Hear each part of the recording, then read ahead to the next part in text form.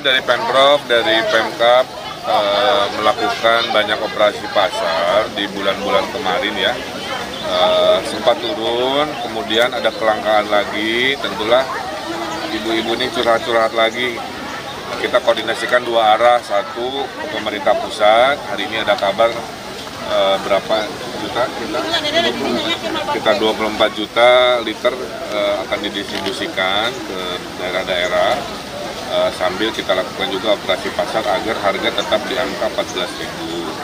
Nah, ini juga saya instruksikan di seluruh wilayah, mudah-mudahan bisa membantu eh, stabilisasi harga minyak gorengnya.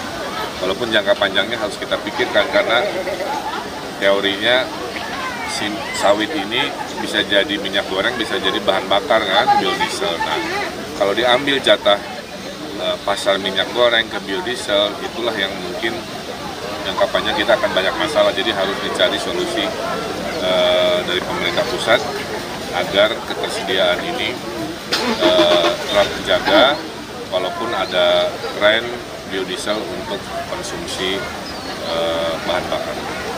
Hari ini berapa Pak yang Hari operasi ini pasar? 1.500-an lah di satu desa ini, di Karawang ini.